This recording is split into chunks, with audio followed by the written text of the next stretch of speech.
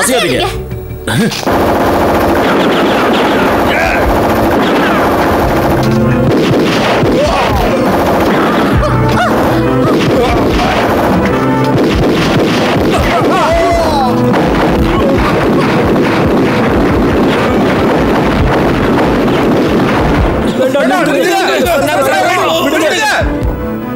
என்ன நடக்குது?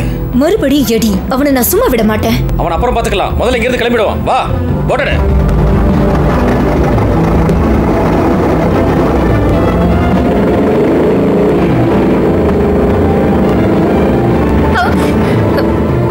அவங்கள விடு. தண்ணியில போய் அவங்கள பிடிக்க முடியாது. இவங்கள பிடிப்போம்.